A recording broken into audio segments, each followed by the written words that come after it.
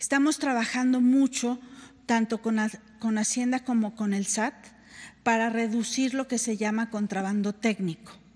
que entre subvaluada la mercancía, que entren a precios muy bajos, sobre todo de aquellos, países, de aquellos